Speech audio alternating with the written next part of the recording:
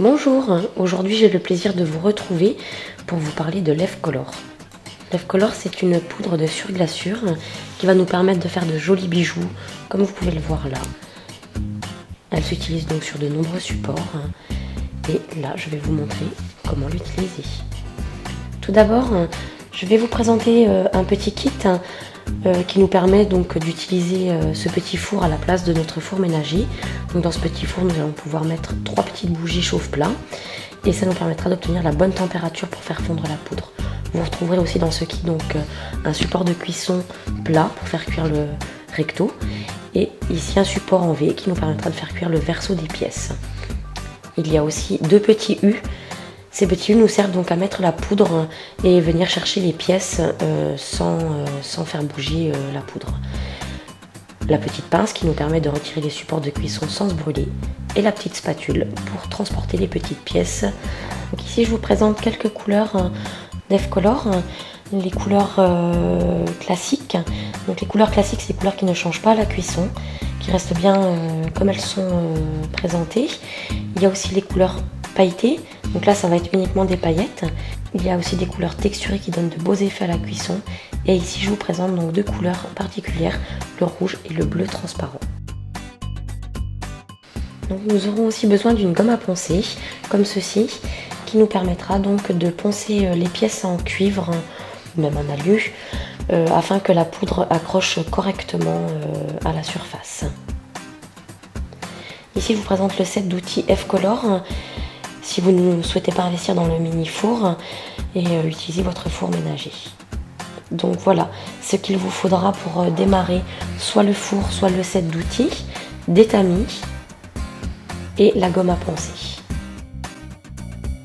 Ici je vous présente donc des pièces en cuivre, pareil, il y a une large gamme aussi de pièces en cuivre que nous renouvelons souvent sur la boutique.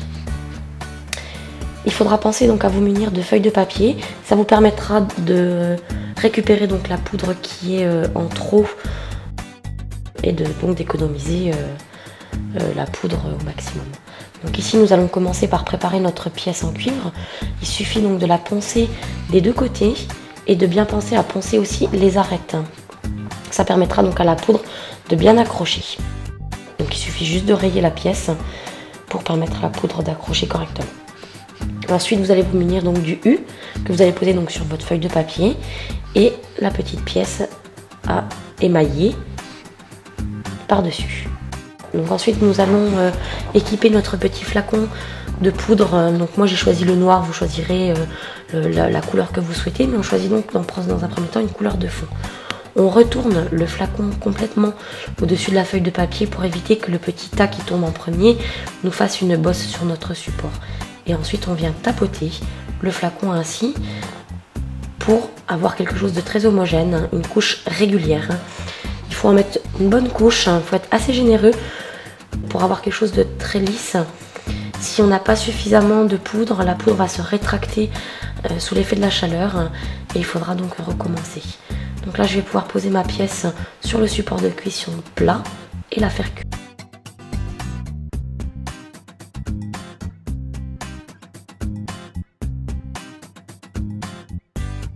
Voilà, après la première couche, ce que ça donne. Donc quelque chose qui est un petit peu bosselé, mais ce n'est pas très grave puisque nous allons passer de toute façon une deuxième couche. Donc voilà, je l'ai faite exactement de la même façon que la première et refaire cuire une deuxième fois. À la sortie du four, voilà ce que ça donne. Donc une couche assez jolie, bien régulière, bien brillante. Donc euh, vous allez me dire euh, combien de temps il faut faire cuire. J'ai pas vraiment d'indication à vous donner puisque ça va dépendre de si vous utilisez votre four ménager ou le petit four euh, F-Color. Donc il suffit juste de regarder la cuisson et une fois que vous avez une couche bien lisse, c'est que le support est prêt. Et vous pouvez donc le retirer.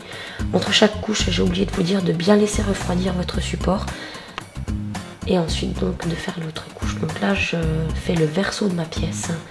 Donc exactement de la même manière que ce que j'ai pu vous montrer auparavant. Toujours en étant généreux et régulier. Nous allons utiliser le support de cuisson en V et non pas le support plat. Si vous faites cuire sur le support de cuisson plat, votre poudre qui est derrière risque de coller, ce qui m'est donc déjà arrivé.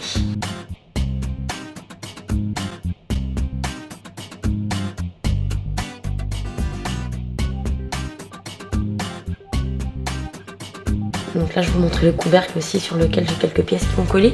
Pensez quand vous utilisez le support en V à bien placer le support de cuisson en V au milieu de votre four. Voilà, donc la première couche est faite. J'ai fait la deuxième couche, je ne voulais pas montrer puisque c'est exactement la même technique. Là, je fais ma troisième couche de noir et je vais venir faire mon décor. Donc je, je remets toujours la couche de fond de la même couleur et ensuite je vais venir donc poser une couleur, euh, là j'ai choisi la couleur cognac pour donner un effet un peu rouille puisque j'ai décidé de coller des engrenages et euh, je voulais donc quelque chose qui fasse un petit peu rouille donc je vais mettre du cognac et du brun. Donc vous voyez là je viens de frotter ma feuille parce que j'avais quelques résidus de poudre noire. Donc pour pouvoir récupérer ma poudre cognac, j'ai frotté ma feuille. Là vous avez pu voir, j'utilise euh, le flacon pas entièrement droit, un petit peu penché parce que je veux des effets comme si la poudre avait été projetée. Et ensuite je suis venue mettre du marron euh, avec ma petite spatule pour avoir juste quelques, quelques petites gouttes. C'est bizarre de dire ça pour de la poudre, mais quelques petites gouttes de marron. Et je fais cuire tout ça. Donc là, je ne fais pas cuire entre chaque couche de poudre de couleurs différentes, juste les poudres vont se mélanger à la cuisson. Votre tamis, surtout, vous le nettoyez bien au pinceau et non pas à l'eau. L'eau risquerait de boucher euh, votre tamis si, elle est calcaire. Et ensuite, vous récupérez la poudre grâce à la feuille de papier. Voilà, après cuisson, on voit les couleurs qui se sont bien mélangées entre elles. Alors, elles ne sont pas miscibles, hein. vous n'allez pas obtenir euh, des couleurs... Euh, des, nouvelles couleurs en fait. Hein. Et donc là, je suis venue rajouter quelques paillettes. Donc la poudre pailletée, je voulais vous la montrer. Elle est blanche. Les paillettes sont intégrées dedans. Blanc va devenir transparent et il ne restera plus que les paillettes. Et ensuite, je suis venue, après la cuisson de, la poudre pailletée, mettre une fine couche de poudre transparente pour lisser le tout et euh, venir mettre mes petits engrenages. Donc je les mets à l'aide d'une pince et dès qu'ils sont posés dans la poudre, je ne les bouge plus, sinon la poudre risque de faire des, effets de bosse et ça sera plus très très lisse. Si vraiment ça ne me convient pas, j'enlève tout et je recommence. Une fois que j'ai posé donc mes petites breloques, je viens remettre une fine couche de poudre transparente. Ça va permettre de sceller les breloques vraiment comme il faut, donc euh, à mon pendentif. Donc là, mes breloques, euh, je les ai fait volontairement dépasser. J'aime bien quand ce n'est pas très régulier, mais à vous de juger où vous voulez positionner vos petites breloques. Et donc toujours en utilisant le support de cuisson en V, je viens faire cuire le tout.